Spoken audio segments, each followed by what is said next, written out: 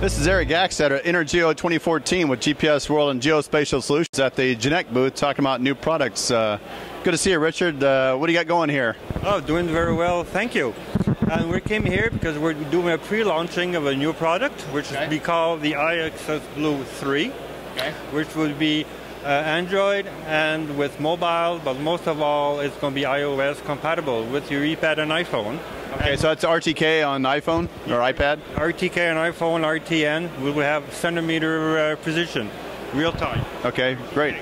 So that should be out in the first quarter of 2015. So this is quite much a pre-launch that we're doing at InterGeo. So this is the pre-launch here, right? Exactly, pre-launch at InterGeo 214, just like we did InterGeo 213 for our iSX Blue 2.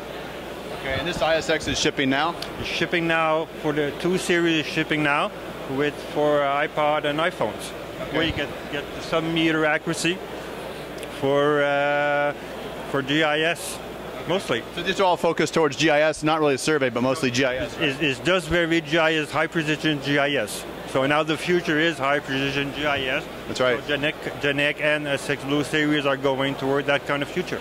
Okay. Anything else in the future? A lot of things else coming up in the future, but we'll, we'll keep that for other shows, like for uh, Esri uh, this summer. Yeah, very good. Thanks a lot, Richard. Thank you.